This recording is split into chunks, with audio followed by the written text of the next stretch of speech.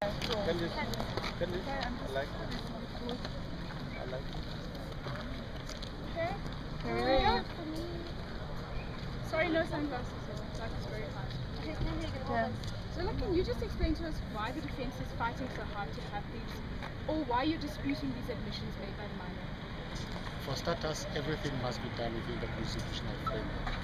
We have tried to demonstrate that this child's constitutional rights and those rights contained in terms of the Child Justice Act were violated from the beginning.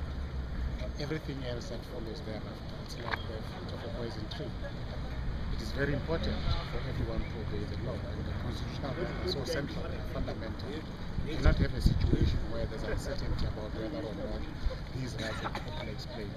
Because chances are, if the explanation had been proper, probation officer had indeed been appointed, there may well not have been any point in.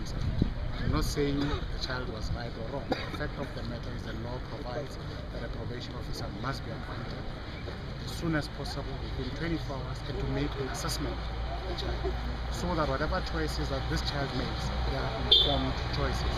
It's not good enough to say the volunteer this information wanted to do this. And that is why we're fighting this hard. And we're fighting within the framework of the law.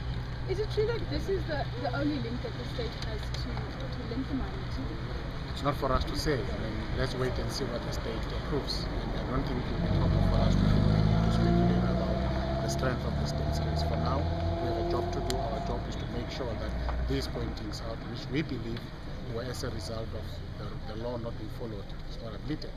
And as you can imagine, it is still before the court, and we cannot make any any pronouncements. Otherwise, we might be to undermining the court. Do you believe that it'll put you, if this thing is thrown out of court, it'll put you in a position when you can bring a 174 discharge application? We're not even thinking of a 174 at this stage. All we are trying to do is to make sure that our clients' rights are preserved. We will do whatever it takes to make sure that those who had the power and the authority to protect these rights are held to account.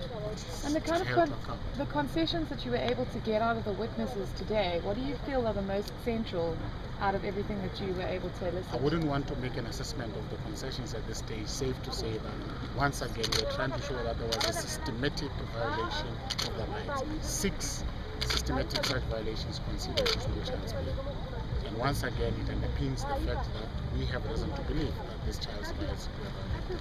Either we're right or we're wrong. Okay, guys.